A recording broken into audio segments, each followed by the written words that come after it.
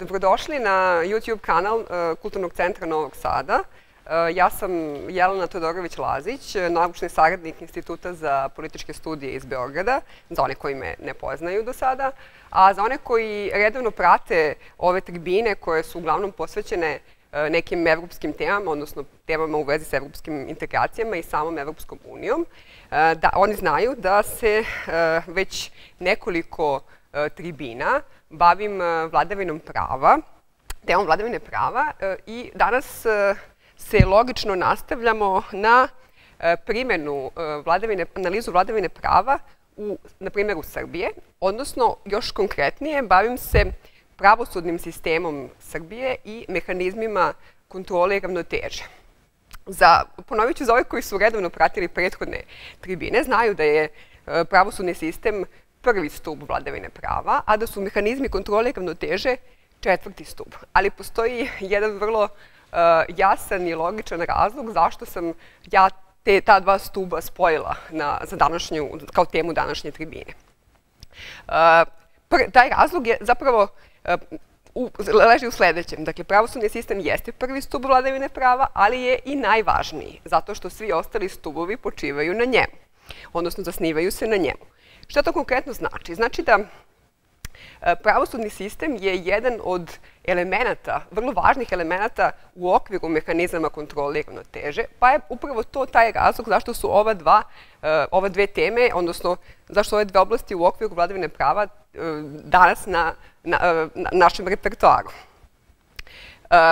Takođe, znači nije samo povezanost pravosudnog sistema i mehanizama, odnosno prvog i četvrtog stuba vladavine prava, već, kao što sam rekla, da se i ostala e, dva stuba zasnimaju na njemu. U kom smislu? U smislu da borba protiv korupcije kao drugi stub vladavine prava nije moguća u onom smislu e, represivnih e, imamo preventivnu i represivnu dimenziju. Kod represivne dimenzije nije moguće e, biti efikasan bez e, e, dobrog pravosudnog sistema. Takođe, i kod trećeg stuba, odnosno stuba koji se odnosi na pluralizam medija i na stanje medijskih sloboda, takođe pravosudni sistem je taj koji vrši kontrolu nad, nad sprovođenjem medijskih sloboda. Dakle, zato, ukoliko neki od četiri stuba Eh, ima, ne, ima ozbiljne poteškoće, odnosno izazove u svom funkcionisanju, postoji rizik da ta država ima eh, problema u domenu vladavine prava. Onda kažemo da ta država ima problema u domenu vladavine prava. Međutim, za kao ona država koja želi eh, da bude demokratska, odnosno da samu sebe doživljava kao demokratsku i da se predstavi kao da je demokratska i da se predstavi kao da je demokratska država, za nju je važno da ima dobar i efikasan pravosudni sistem, zato što iz njega proizilaze dobri pokazatelji, kao što rekoh, i za sve ostale, odnosno za ostala tri stuba vladavine prava.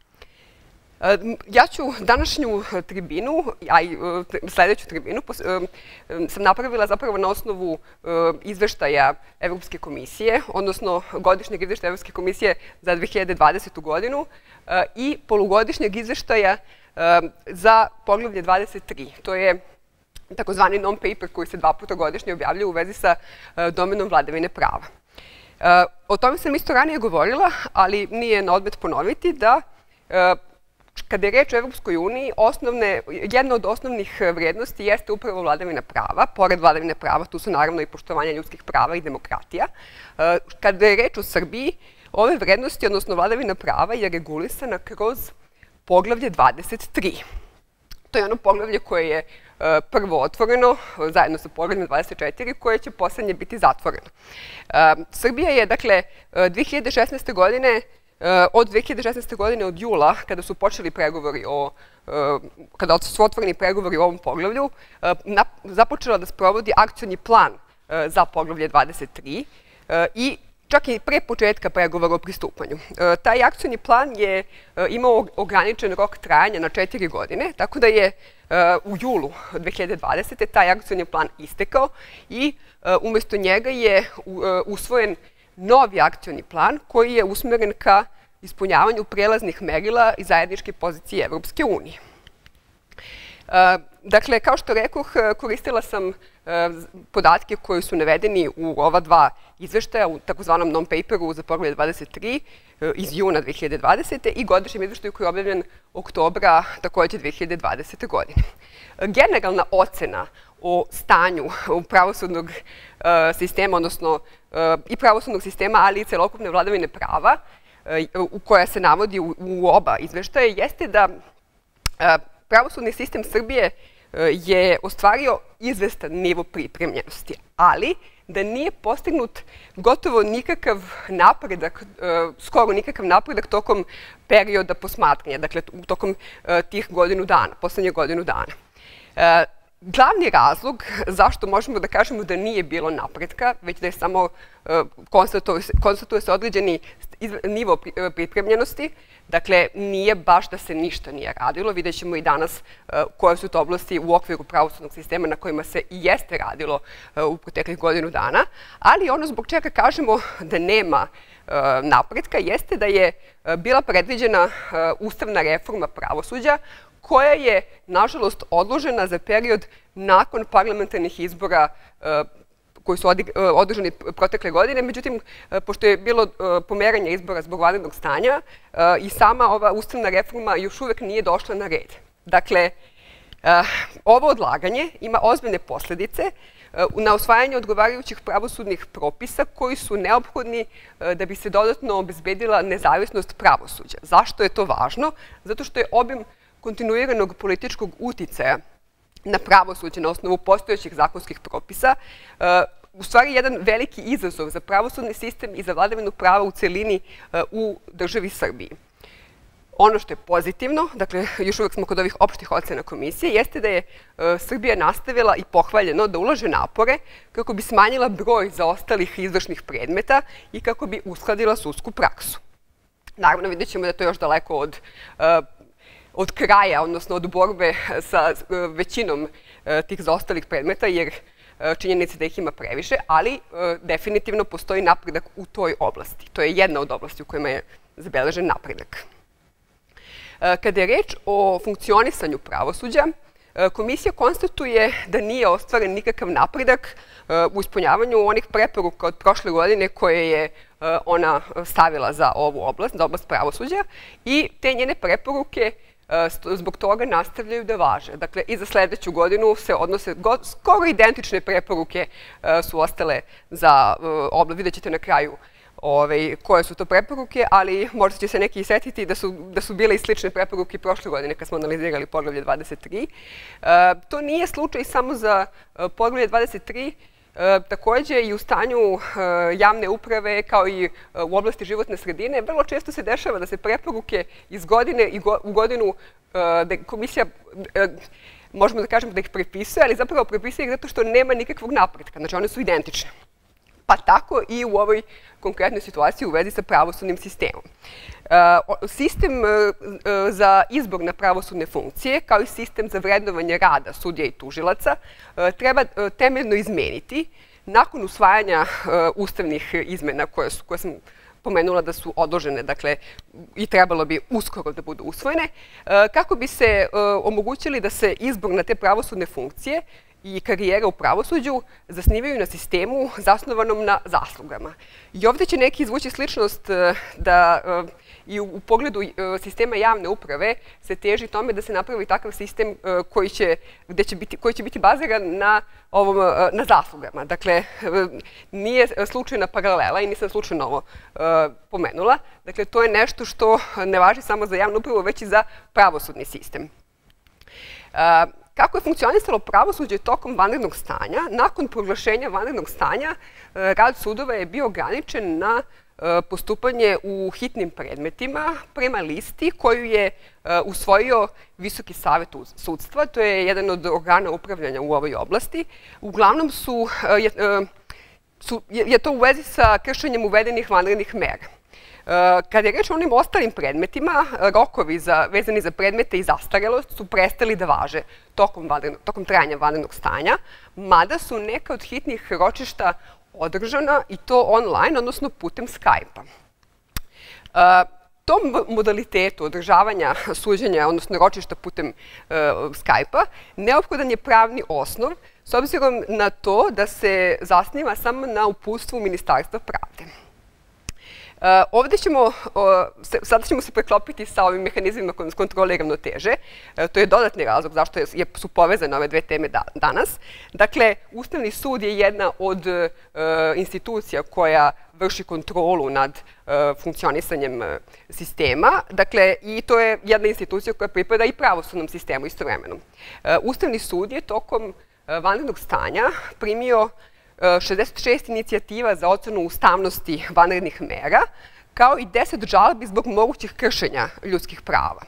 Do sada, ali e, uslovno rečeno do sada, pošto je izveštaj e, objavljen u oktobru, je Ustavni sud donao samo jednu odluku. Dakle, e, ograđujem se da ovo do sada znači do oktobra 2020. godine e, na, na čemu se zasnivaju glavni, eh, koji su to glavni strateški dokumenti u oblasti eh, pravosud, pravosudnog sistema. Dakle, pored onog eh, akcijnog plana za poglavlje 23 koje sam pomenula na početku, imamo i nacionalnu strategiju za reformu pravosuđa koja je doneta još 2013.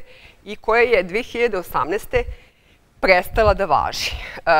Imamo jedan prazan hod, e, dakle, između decembra 2018. i jula 2020. kada e, nije postojala strategija, nacionalna strategija za reformu pravosuđa. E, I, dakle, u isto vrijeme, u julu prošle godine, kada je usvojen i akcijni plan, onaj također koji je istekao nešto ranije za poglavlje 23, usvojena je i naknadna strategija. Šta je problem sa ovim poslednjim dokumentima? Problem je u tome što, kako komisija kaže, da ti dokumenti nisu E, potkrepljeni jasnom finansijskom analizom ukupnih troškova reformi. E, malo pa sam pomenula da Visoki savjet sudstva kao jedan od organa upravljanja, dakle, pored Visokog u oblasti pravosuđa, drugi e, organ upravljanja jeste Državno veće tužilaca. Ova dva organa odlučuju o broju sudija i tužilaca, o izboru na pravosudne funkcije, zatim o vrednovanju, premeštaju i upućivanju i disciplinskoj odgovornosti, prestanku funkcije sudija i tužilaca. Ali pored ovih osnovnih funkcija, e, oni su odgovorni i za početnu i kontinuirano, odnosno stalnu stručnu obuku svih onih e, ljudi koji su zaposleni u oblasti pravosuđa. Ova dva organa. E, jedan od elemenata funkcionisanja pravosuđa jeste nezavisnost i nepristrasnost aktuelni postojeći ustavni i zakonodavni okvir, kao što sam rekla, ostavlja dosta prostora za eh, neodgovarajući e, politički uticaj, odnosno pritisak politike na pravosuđe. E, o čemu se zapravo radi? E, to su vam verovatno poznati, poznati momenti, sad kada budemo objasnili, dakle, to je ono kada državni funkcioneri, neki od njih na najvišim funkcijama, neki članovi Skupštine, nastavljaju da daju javne komentare Eh, o istragama i sudskim postupcima koji su u toku, ali i o pojedinačnim eh, sudijama i tužiocima. Eh, ti istupi ovih visokih državnih funkcionera, kao i narodnih poslanika, njihovo pojavljivanje kao u vidu članaka u tabloidnim novinama zapravo smeta, odnosno diskredituje pripadnike pravosuđa i utiče na njihovu nezavisnost i nepriskasnost. Pa e, imali smo i slučajeve, konkretno slučaj e, suđenja e, bivšem predsjedniku opštine Brus Milutinu Jeličiću Jutki, gde su sudije tražile izuzeće u pogledu donošenja odluka u predmetima koje uključuju lokalne političare, odnosno konkretnog ovog političara, pozivajući se na pritisak koji se na njih vrši i na njihove porodice. Dakle, to je nešto što ne bi trebalo da se dešava u e, državi u kojoj e, postoji efikasan pravosudni sistem. E, kada je reč o odgovornosti, trenutno je u toku izmena disciplinskih pravila i etičkih kodeksa Visokog savjeta sudstva i državnog veća tužilaca. Te izmene konkretno su potrebne kako bi se definisalo protivpravno delo, zatim kako bi se ojačali kapaciteti disciplinskih tela i kako bi se pojasnilo e, koje odredbe u kodeksima treba da podrazumevaju disciplinsku odgovornost za njihovo nepoštovanje. Tokom 2019. godine državni tužilac, e, disciplinski tužilac u okviru Visokog savjeta sudstva je primio 491 jednu pritužbu protiv sudija. Uglavnom su te pritužbe e, došle od strane građana. U sedam slučajeva je pokrenut disciplinski postupak, dok je drugi organ koji Eh, se bavi disciplinskom odgovornošću, eh, disciplinska komisija Visokog savjeta sudstva, eh, reagovala, odnosno postupala u 31 predmetu, dok je 25 predmeta rešeno.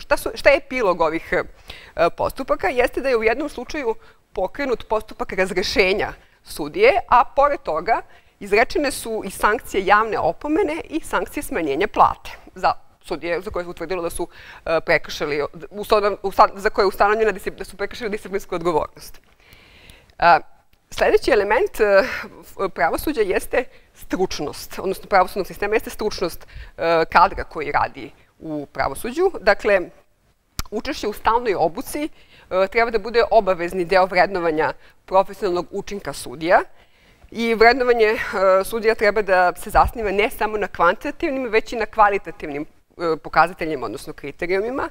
Ono što je e, interesantno jeste da Srbija još uvek ima dve kategorije kvalifikovanih kandidata za nosioce pravosudne profesije. Jedne su diplomci pravosudne akademije, a drugo su e, sudski i tužilački pomoćnici. E, ono što jeste problem u vezi sa Um, pravosudnom akademijom jeste da nije ostvaren napredak u pogledu uh, prihvatanja saveta koje je dala Venecijanska komisija o tome kako efikasno zaštititi akademiju od uh, mogućeg neprimerenog uticaja, dakle od onog istog uh, uticaja politike kome su izloženi i sami sudovi, odnosno sudije, ne samo osnovnih, uh, već i svih ostalih sudova. Pa tako treba se raditi na jačanju nezavisnosti akademije, pravosudne akademije i profesionalizma, e, e, da bi to bio predoslov da akademija e, postane jedina tačka na nacionalnom nivou za ulaz u pravosudnu profesiju na nivou osnovnih sudova. Pravosudna akademija, kad sam je već pomenula, da malo pojasnimo što ona zapravo radi, ona je ovlašćena da pruža i početnu obuku za kvalifikovane diplomirane pravnike, koji teže da se profesionalno angažuju u pravosuđu, kao i stručnu obuku za sudije, tužioce i ostalo sudsko osoblje i sve to pod nadzorom Ministarstva pravde.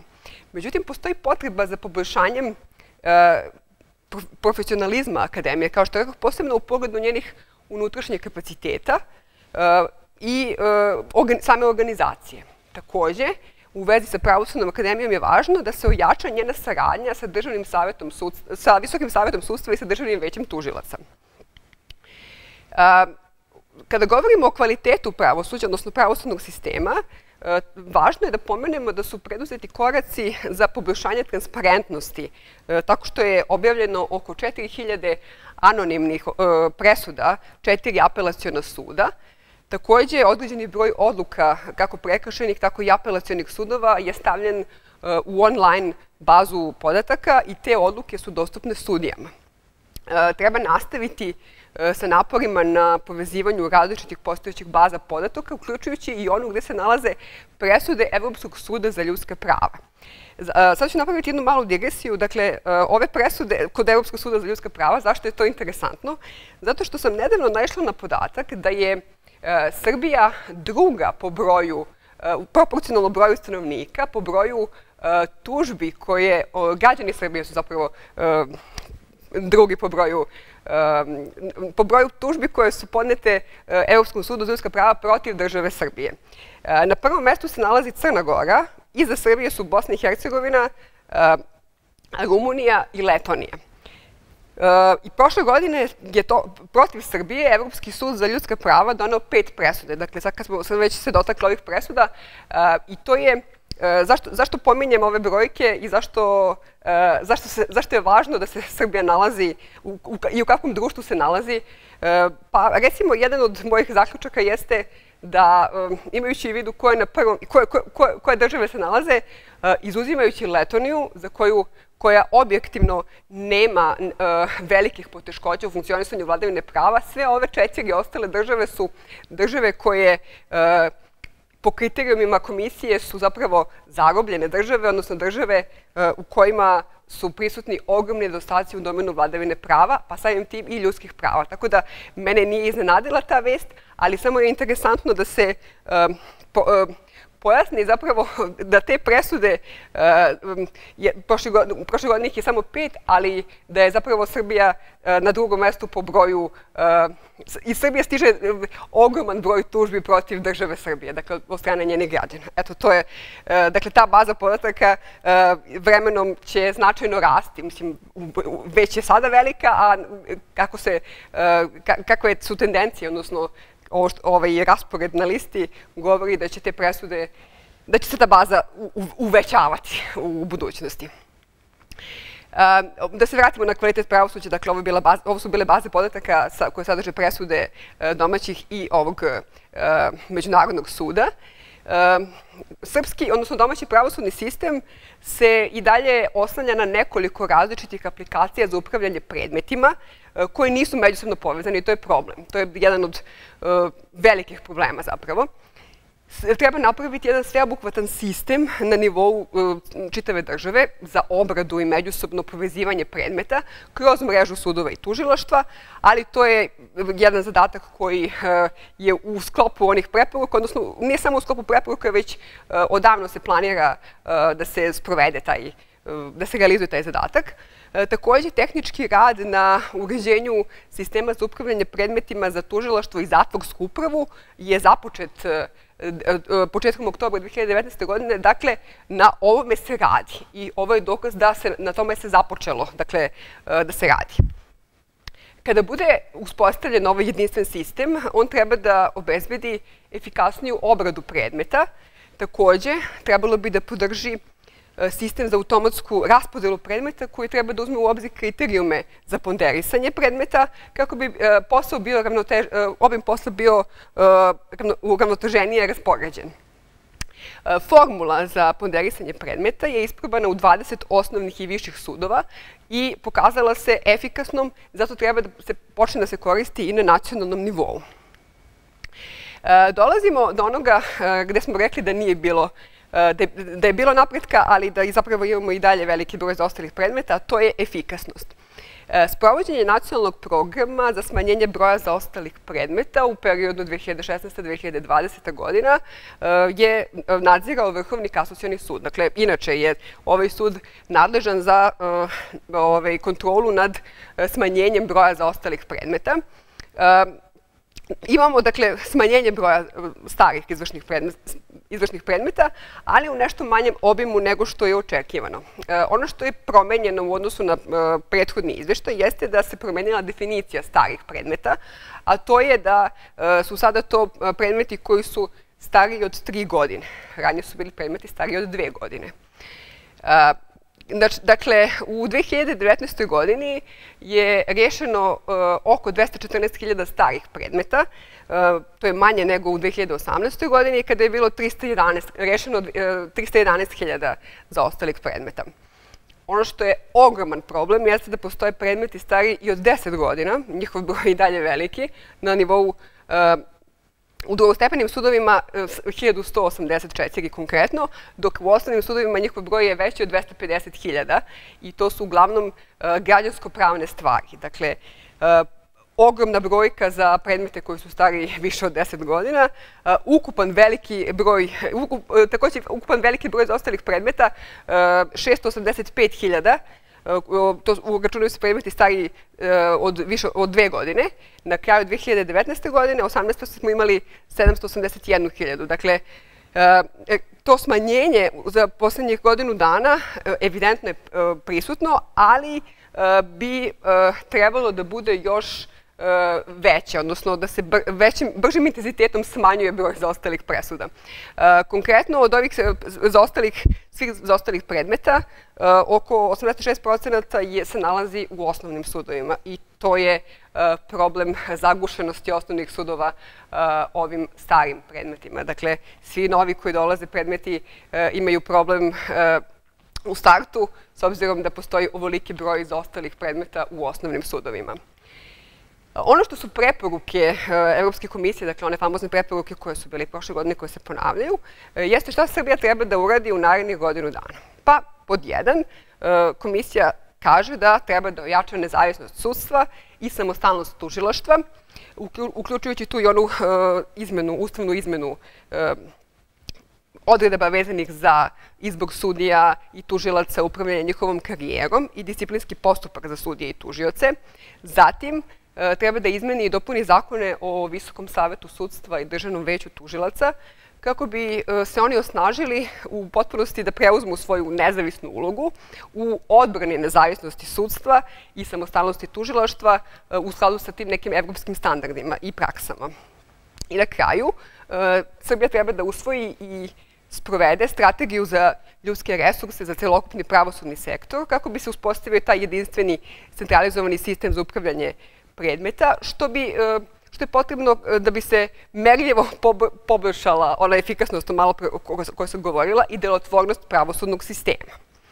Dakle, ovim smo završili prvi stup, dakle, pravosudni sistem i prelazimo na mehanizme kontrole i ravnoteže koji su E, koje su zabeleženi, koje postoje trenutno u Srbiji.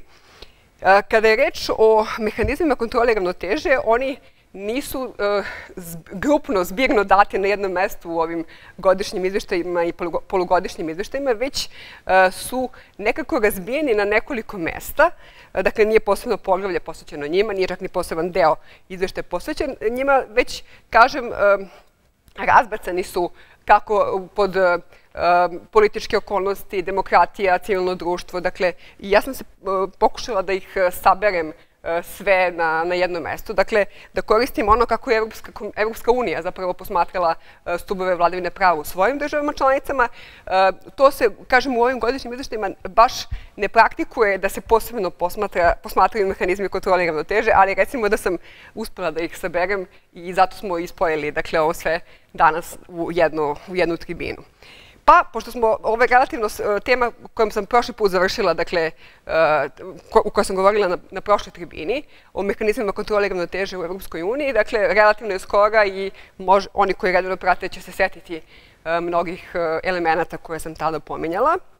A to je da, pored, dakle, naravno prvog i osnovnog elementa efikasnih pravosudnih sistema, mehanizmi kontrole i ravnoteže također podrazumevaju i uh, E, transparentan, odgovoran, demokratski i pluralistički proces donošenja zakona. Zatim e, mora da postoji podela vlasti, trebalo bi da postoji podela vlasti, zatim ustavna i sudska revizija zakona, zatim e, visoko kvalitetna javna uprava, E, nadzor i kontrola koju vrše organizacije civilnog društva i mediji, ali i postojanje više nezavisnih institucija koje se bave e, ljudskim pravima, odnosno e, zaštitnik građana i ostale nacionalne institucije koje se bave zaštitom ljudskih prava. Konkretno u slučaju Srbije, kada je reč o ovim nacionalnim institucijama za ljudska prava, E, imamo poverenicu za, odnosno poverenika, u našem slučaju poverenicu za zaštitu ravnopravnosti i imamo poverenika za zaštitu informacije od javnog značaja. E, danas ću govoriti o zaštitniku građana e, i o nešto o poverenici za ravnopravnost, a sljedeći put o povereniku za informaciju od javnog značaja, zato što je ta institucija nekako prirodnije se uklapa u domen borbe protiv korupcije. Ali do, o tome na kraju predavanja. Sada nešto o prvom i osnovnom elementu, a to je e, kako nam se donose zakoni, odnosno kako nam izgleda skupština. Dakle, e, Narodna skupština e, Republike Srbije je novo formirana i formirana je nakon parlamentarnih izbora koji su održani juna prošle godine.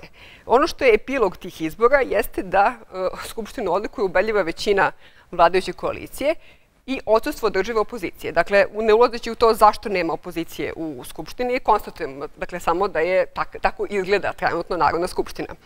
E, nakon izbijanja pandemije, odnosno bolesti COVID-19, e, Skupština je sazvana tek e, šest nedelja nakon proglašenja vanrednog stanja. Proglašenja vanrednog stanja. I to automatski ima nekakav e, negativan prizvuk kada govorimo e, o ovim mehanizmima kontrole i ravnoteže. Zašto? Zato što je to što je ona sazvana tek šest nedelja nakon toga je ograničilo njenu sposobnost da vrši nadzor nad izvršnom e, vlasti tokom tog perioda što bi inače trebalo da radi svaka skupština. Dakle, skupštinski nadzor nad izvršnom vlasti u slučaju Srbije ostaje formalizovan. Dakle, i dalje e, podozumeva se da skupština vrši nadzor nad izvršnom vlašću, ali e, e, to nam govori o tome da je demokratska odgovornost izvršne vlasti slaba. Ovaj trend je, kažem, bio posebno naglašen nakon izbijanja pandemije i to je taj demokratski odnos snaga pomerilo dodatno prema izvršnoj vlasti, odnosno prema vladi. Dakle, Rekla sam da, mislim, moguće da nisam danas to pomenula, ali u e, sve tri grane vlasti moraju biti e, odvojene i međusobno da se kontrolišu. Dakle, ni jedna ne sme da prevagne. Ovde konkretno imamo e, jedan prevagu koja ide u korist vlade. Ono, postoji nešto što je pohvalno. Dakle, prošlo sam govorila o tome da E, kada se zakoni donose po ubrzanoj proceduri ili po hitnom postupku, da to nije dobar mehanizam, odnosno da to smanjuje e, ove mehanizme kontrole. E, konkretno u slučaju Srbije, hitne skupštinske procedure su korišćene za 19% zakonodavnih procedura u periodu među marta 2019. i marta 2020. što je veliko smanjenje korišćenja hitnih procedura u odnosu na 44% u sličnom periodu, dakle u prethodnih godinu dana. I također ono što komisija hvali jeste da su smanjene ranije prakse čestog obstruisanja u nacionalnom parlamentu.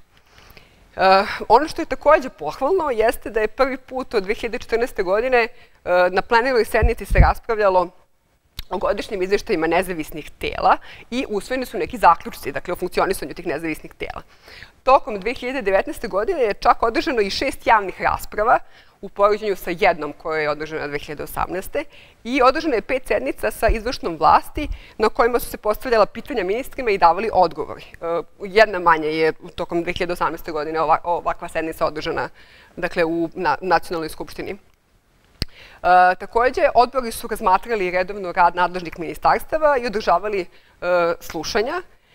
E, ono što je zapravo e, nedostatak jeste da je potrebno obezbediti sistematičniju podršku radu nezavisnih regulatornih tela kroz redovno praćenje sprovođenja njihovih preporuka i pozivanje izvršnih organa na odgovornost, kojim se, dakle, na odgovornost na osnovu preporuka ovih nezavisnih tela koja su nadležna za kontrolu tih organa vlade, odnosno organa izvršne vlasti. E, sljedeći element e, e, mehanizma kontrole jeste organizacija civilnog društva, odnosno samo civilno društvo. Snažno civilno društvo jeste važna komponenta svakog demokratskog sistema.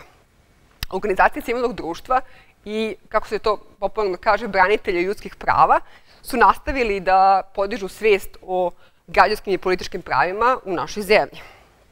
To se sve odvija u jednom polarizovanom okruženju koje nije otvoreno za kritike i e, često se dešava da vlast daje negativne izjave o organizacijama civilnog društva uopšte, a posebno o finansiranju određenih udruženja. Ovo nas ne iznenađuje, s obzirom da smo, kažem, prošli put se bavili e, sličnim primjerima iz e, zemalja Europske unije, pa smo videli da se to dešava i u Mađarskoj, i u Bugarskoj, i u nekim drugim državama, dakle nije samo svojstveno u Srbiji. Također postoje e, kampanje blaćanja protiv određenih e, grupacija e, organizacija civilnog društva. U slučaju Srbije najčešće se kritikuju one organizacije koje, organizacije civilnog društva koje kritikuju vlast u pogledu vladavine prava. Da napravimo samo jedno poređenje, u Italiji su kampanjama blaćanja e, izložene organizacije koje se bave zaštitom migranata, a u Poljskoj imamo da se kampanjama blaćanja e, e, da se u kampanjama blaćanja ovaj, napadaju organizacije koje se brane LGBT populaciju. Dakle, za svaku državu koja ima nekakve probleme u sektoru vladavine prava, postoje određena grupa civilnih organizacija koje su podvrnute tim takozvanim kampanjama blaćanja. Znači, ono što sam pomenula prošli put da je usvojeno u slučaju Hrvatske i Slovenije, a to su nacionalna strategija i akcijni plan za civilno društvo, koji bi pomogli stvaranju jednog pozitivnog okruženja za same organizacije civilnog društva, još uvijek nisu usvojeni. Također, Savet za saradnju sa civil, sa civilnim društvom tek treba da bude uspostavljen, a um, postoji jedna organizacija dakle, koja okuplja predstavnike vladinih tela, zatim predstavnike političkih stranaka, nevladinih organizacija, nezavisne stručnjake, predstavnike sindikata, zatim organizacije iz privatnog sektora i predstavnike strukovnih organizacija. To je takozvani nacionalni konvent u Evropskoj uniji. To je telo koje prati i procenjuje napredak u procesu evropskih integracija, odnosno procesu pristupanja Evropskoj uniji. I ovo telo, dakle, često ima zaključke kako zapravo Srbija stoji u mestu i da taj napredak skoro nepostojeći. A važna je zato što sa segmenta e, mehanizma kontrole ona suštinski vrši kontrolu tim e, e, u ovoj oblasti, ali nema nikakvu e, mogućnost e, da sankcioniše to što nema napretka u procesu pristupanja. E, u januaru prošle godine je vlada usvojila smjernice e, za uključivanje organizacija civilnog društva e, u radne grupe za izradu propisa javnih politika, što je vrlo pozitivna stvar. Zatim, Vladina kancelarija za saradnju sa civilnim društvom je izradila bazu podataka o kontakt tačkama organizacija civilnog društva u javnim institucijama i lokalnim samoupravama, a ova smanjena upotreba hitnih procedura za usvajanje zakona omogućava e, u suštini više vremena da se e, provede u konsultacijama prilikom donošenja zakona i sa predstavnicima organizacija civilnog društva. Ali e, određeni broj ovih organizacija je stavio prigovor da je vreme koje je određeno za te javne konsultacije i dalje prekratko i da njihovi komentari na nacrte nisu bili dovoljno razmatrani i uvaženi. Dakle, to je jedna strana medalja, ali činjenica je da to što ima više vremena za konsultacije je dobra stvar za učešće organizacija civilnog društva. Zbog e, pandemije, izmjenja pandemije i preraspodele sredstava u vanrednom stanju je obustavljeno nekoliko postupaka za dodelu bespovratnih sredstava organizacijama civilnog društva, kako na državnom, tako i na lokalnom nivou. E, I e, inkluzivnost i transparentnost procesa reformi, posebno u pitanjima vezanim za pristupanje Evropskoj uniji, treba što pre popraviti, Eh, i te javne rasprave o politikama i zakonodavstvu mogu biti sadržajnije. To je ono što ovi nacionalni konvent ima primetbe na eh, funkcionisanje, odnosno održavanje reformi eh, u procesu pristupanja. Kada je reč o jednoj od institucija koje su kontrolni mehanizmi, jeste prva institucija je zaštitnik građana.